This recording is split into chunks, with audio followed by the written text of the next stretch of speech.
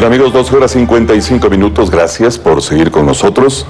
Juristas consideran ilegal la decisión de la prefectura de Pichincha de otorgarle vacaciones a Paola Pavón, pues aún no ha cumplido un año en el cargo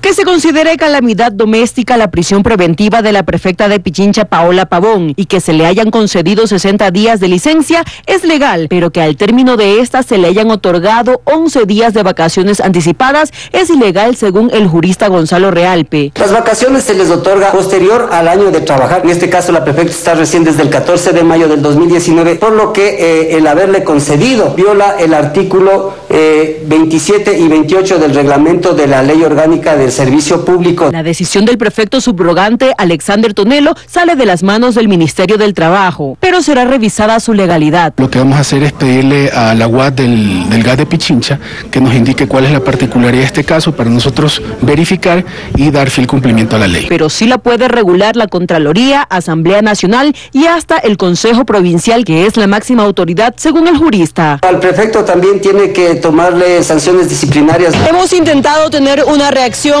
aquí en la prefectura de Pichincha, sin embargo nuestras llamadas no son atendidas ni nuestras peticiones personales. Y mientras tanto la defensa de Pavón ya envió una carta a la Cancillería pidiendo la conformación de una mesa de trabajo para cumplir con las medidas cautelares otorgadas por la CIDH a Pavón. La ministra de Gobierno se pronunció. Así lo haremos. El Estado ecuatoriano es un Estado que cree en los derechos humanos, no cuando le conviene, sino siempre. Lo que no implica su liberación. Fabiola Santana, TC Televisión.